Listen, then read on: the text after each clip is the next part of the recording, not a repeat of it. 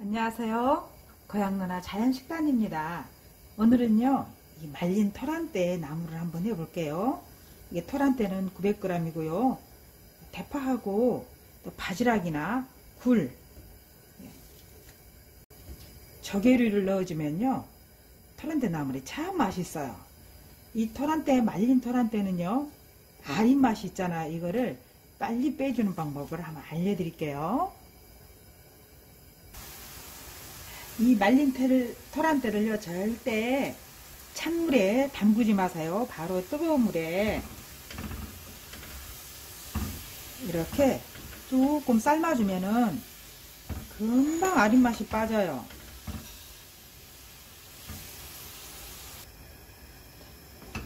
뜨거운 물에 한 4분에서 5분 이 토란대 양에 따라 다르지만은요 이렇게 삶으셔서 이 만져보셔요. 그래서 아 지금 나무라면 좋겠다. 그런 느낌.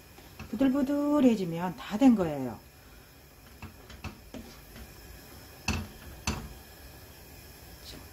발맞게 됐으니까요. 이제 불을 끄시고 깨끗하게 헹궈 주시게요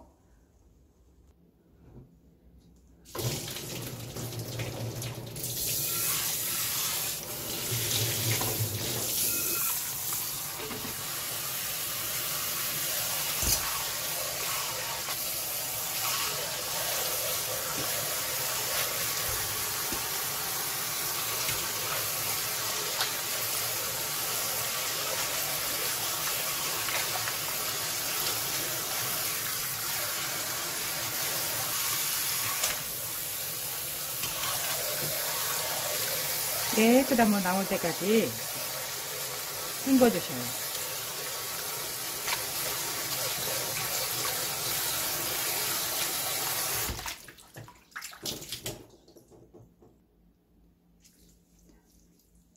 씻은 토란대를요 꾹 짜주세요.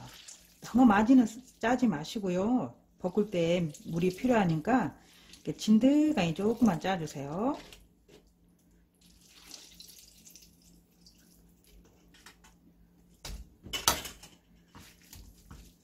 드시기 좋을 만큼 썰어주셔요.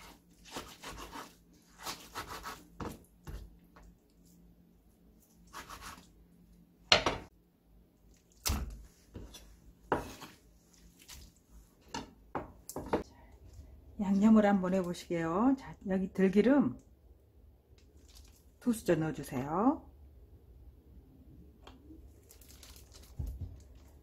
다진 마늘 반 스푼 좀 못되게 넣어주시고요. 까나리 액젓을 한 수저 넣어주세요.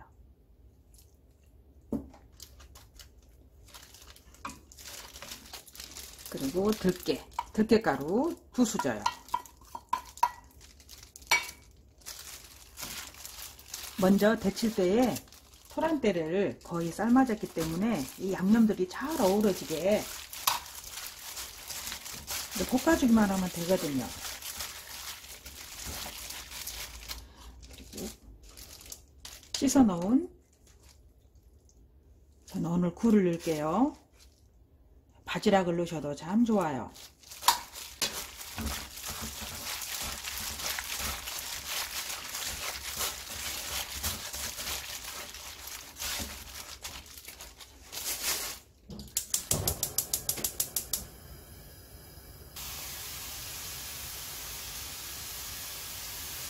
파는 쪽파도 좋고요. 대파도 좋고요. 그냥 조금만 넣으셔요.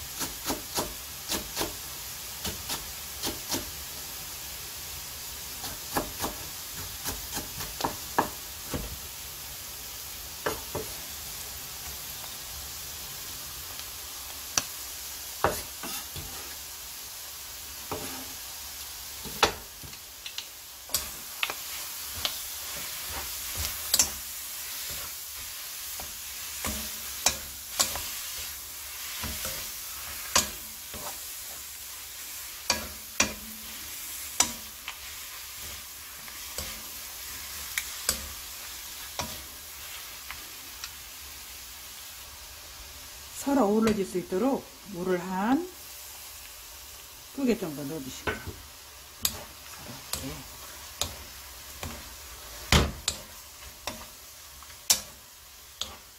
파만 익으면 이걸 먹을 수가 있어요.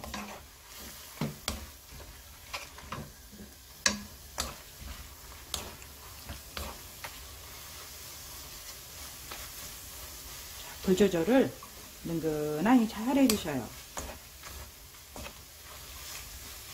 맛을 볼까요? 음. 살짝 싱겁네요. 이렇게 까나리 껴서요. 한수더 해주시고 붉은 소금을 수제 버터를 조금만 해주세요.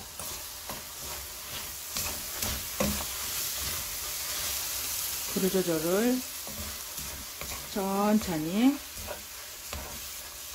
고금, 토, 고구마 때나 토란 때요 불을 너무 세게 하지 마시고 나중에는 중불보다 살짝 작게 하셔서 나물 속에 간이 서서히 들어갈 수 있도록 이렇게 해주시면 다 된 것 같아요. 이제 깨만 뿌리면 될 것 같아요. 음. 맛있네요. 이따가요 참기름을 하나 넣어주시고 깨를 좀 넣어주시고 아주 들기름으로 볶았기 때문에 아주 깔끔한 맛을 내줘요. 명절에 여러 가지 기름들을 많이 먹기 때문에 나물을 이렇게 들기름으로 깔끔하게 해주시면 속이 아주 편해요.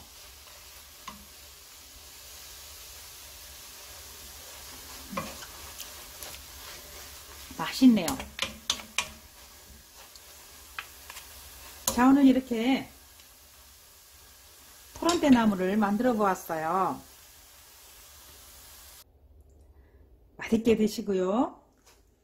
건강하시기 바랍니다. 감사합니다.